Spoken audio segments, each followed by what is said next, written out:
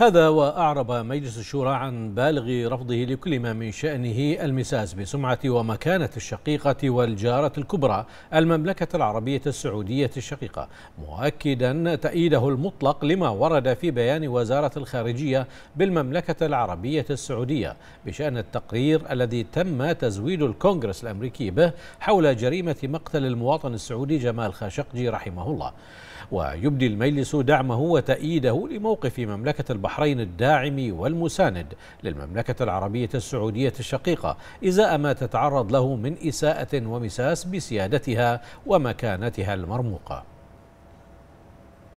نحن في لجنة الشؤون الخارجية والدفاع والأمن الوطني أكدنا موقفنا ودعمنا للمملكة العربية السعودية بقيادة خادم الحرمين الشريفين الملك سلمان بن عبد العزيز آل سعود حفظه الله ورعاه وبمؤازرة صاحب السمو الملكي الأمير محمد بن سلمان آل سعود ولي العهد نائب رئيس مجلس الوزراء وزير الدفاع. ونجدد الرفض التام لأي إساءة واستهداف الاستقرار وأمن المملكة العربية السعودية وشعبها الشقيق والكل يعلم بأن المملكة العربية السعودية وعلى مر التاريخ كانت السباغة والمبادرة لنشر السلام والمحبة والاحترام بين الدول والشعوب وتمثل نموذج للاعتدال والوسطية كما أنها الحريصة على تحقيق الاستقرار والسلام في جميع الدول. السعودية وقيادتها وسيادتها واستقلالية قضائها خط أحمر لا نقبل المساس به مطلقا وأن تقرير وكالة الاستخبارات الأمريكية ساذج وغير صحيح. لذلك فشلت محاولات المس بسيادة الرياض. علينا لم الشمل ووحدة الصف مع توحيد المواقف لمواجهة هذه التحديات. وإذا هناك اختلافات في, الرأي في وجهات النظر يجب أن تتم معالجتها في إطار البيت العربي. حفظ الله الشقيقة الكبرى المملكة العربية السعودية وقادتها وشعبها من كل سوء. ونحن مع المملكة في السراء والضراء. لا أحد منا يقبل هذا الموقف من حليف استراتيجي في وزن الولايات المتحدة الأمريكية. فلذلك يجب على الإدارة الجديدة أن تدرك الشراكة القوية والتاريخية والاستراتيجية بين جميع عواصم دول الخليج العربي وواشنطن واللي يجب ألا تتأثر بتقرير غير منصف. كل أهل الخليج يقفون مع السعودية في المنشط والمكره.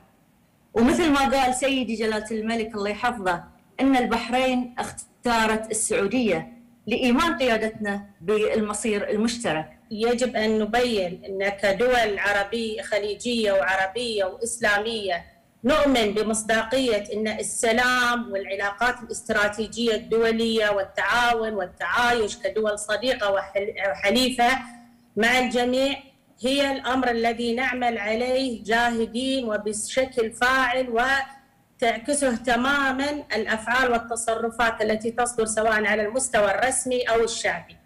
ولكن مرفوض التدخل في سيادات الدول والتدخل في أعمال القضاء من خلال ملف حقوق الإنسان وغيرها من الأمور التي يتم النيل من الدول الخليجية والعربية والإسلامية من خلاله. هذا الاستهداف الممنهج ضد المملكة العربية السعودية كان محل استنكار ورفض ليس من قبل الدول بجهاتها وهيئاتها الرسمية بل شاطرهم في ذلك واقترن بتصريحات من عدد من البرلمانات العربية وغيرها والتي تمثل السيادة الشعبية أيضا. الحملة المؤخرة على المملكة العربية السعودية وهي مو أول حملة نعتبرها هي ضدنا إحنا كشعوب أولاً. وأيضا واجبنا يعني آه، دعم السعودية مو مو بس من باب رد الجميل وما أكثر الجميل الله يديم عزهم لكن آه، هي قناعة راسخة يعني بوحدة المصير هي قناعة إن الدفاع عن السعودية بالنسبة لنا هي مسألة مصيرية كشعوب اولا وكدول.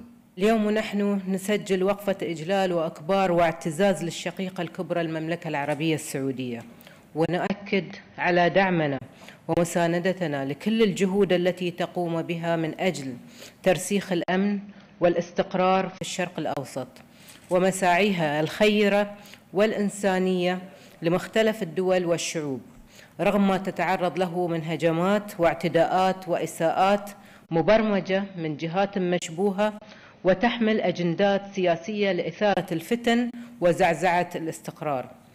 أن المحاولات المتكررة للإساءة للشقيقة الكبرى المملكة العربية السعودية وقيادتها الحكيمة ما هي إلا اعتداءات مستنكرة ومرفوضة تريد النيل من القيادة السعودية والزج بها في تقارير كاذبة تتضمن كلاما مرسلا وعار من الصحة. الاستهداف حقيقة ليس فقط للمملكة العربية السعودية لأنهم يعلمون جيدا أن المملكة العربية السعودية هي العمود الفقري وهي العمود الأساسي لخيمة المسلمين والعرب جميعا الشرفاء منهم. فأي مكان في العالم لا توجد لمسة شريفة آه، نافعة للمملكة العربية السعودية بل هي عقد النظام الذي يجمع العالمين العربي والإسلامي. لذا إن الوقوف مع المملكة العربية السعودية دائما واجب شرعي وواجب قومي. إن المملكة العربية السعودية هي قبلة المسلمين وبلاد الحرمين الشريفين ومظلة الخليج العربي والدول العربية والإسلامية. ولا نقبل المساس بها لا من قريب ولا من بعيد.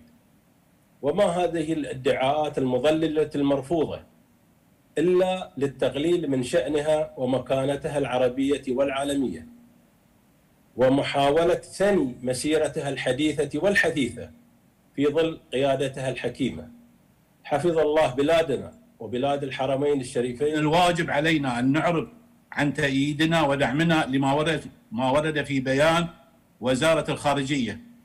بالمملكة العربية السعودية بشأن التقرير الذي تم تزويد الكونغرس الأمريكي به حول مقتل المواطن السعودي جمال خاشقجي رحمه الله عرفانا منا بما تقدمه المملكة العربية السعودية بقيادة خادم الحرمين الشريفين حفظه الله وولي عهده الأمين رعاه الله والشعب السعودي الشقيق من مواقف ومساندة كبيرة ومشرفة بجانب مملكة البحرين في مختلف الظروف وأقول ما يؤذي السعودية يؤذينا ويجب مساندة قرار مجلس الشورى ويجب التعبير عن التضامن غير المحدود مع السعودية ويجب توصيل رسالة لكل دول العالم. الهدف منها أن البحرين قيادة وحكومة وشعبا مع المملكة العربية السعودية قلبا وقالبا. وما يمس السعودية يمس ويسيء للبحرين وأن هذا من الثوابت التي عشنا عليها ولن نتخلى عنها ما حيينا أؤكد كذلك أن المملكة العربية السعودية هي الحصن المنيع